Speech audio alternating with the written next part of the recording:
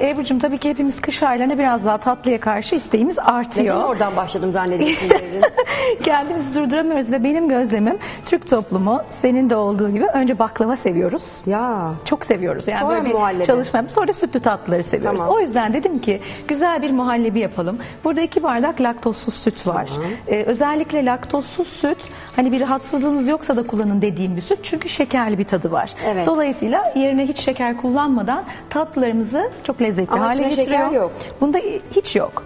Sadece laktozun yani e, sütün kendi şekeri ortaya Kendi çıkıyor. şekeri, güzel. Önden parçalandığı için ve gaz şişkinlik yapmıyor. İki bardak laktozsuz sütten başka bu ne biliyor musun? Nedir o? Hurma suyu. Oo. Şimdi şöyle yapıyoruz. Bunun içinde hiç şeker yok. Tamam. Geceden bu sizin damak tadınıza göre 6-8 tane olabilir. 6 tane hurmayı suda beklettik. Onun suyunu aldık. Süte. Oo, ne güzel bir şekeri geldi. Aynen ve bu hurmaları da blender ettik. Bunları da ekleyeceğiz. Yani şeker olarak bunları kullanıyoruz. Tamam. Oo, çok güzel. İsteyenler bunu hani içine olduğu gibi de atıp sonra blenderda edebilirler. Hiç fark etmez. Ama hurma hem besleyici hem de lifiyle müthiş bir destek sağlıyor. Berincim gerçekten harika. Tariflerin her defasında yani 2019 model tariflerle karşımızda Berin Yiğit. Yıllardır hiç değişmeden, e, çok kendini geliştirerek, e, değişmeden derken istikrarı değişmeden. Canımsın. Kendini geliştirerek devam eder benim sevgili arkadaşım. Peki bu su muhallebisini hepimiz yer miyiz rahat Hepimiz rahat? yeriz. İkindi de yiyebiliriz. Gece çok fazla krizimiz olduysa porsiyonu azaltarak yiyebiliriz. Tamam. Ee, günümüz var. Arkadaşlarımız diyette. Onları da düşünelim. Bunları yapalım. Ee, ya da yani gerçekten bir ana öğün olarak bile kullanabilirsiniz. Çok güzel. Bu topaklaşmasın diye sürekli e, karıştırmaya devam ediyoruz.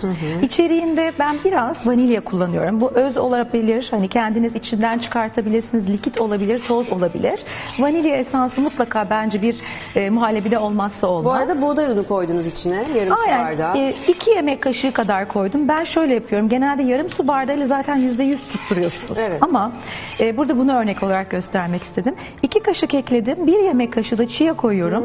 Chia jelleştiği için Hmm. Tabii. böylece aldığım unu azaltıyorum, besleyiciliği arttırıyorum. Hem faydalı bir yağ katıyorum güzel. hem de e, lifini arttırmış oluyorum. Kaçıncı seferde bu tarifi bulduğunu sorabilir miyim sana?